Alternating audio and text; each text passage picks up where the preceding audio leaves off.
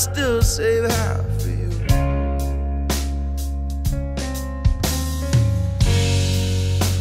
You walk into this room right now. I tell you how I feel. Oh, you still.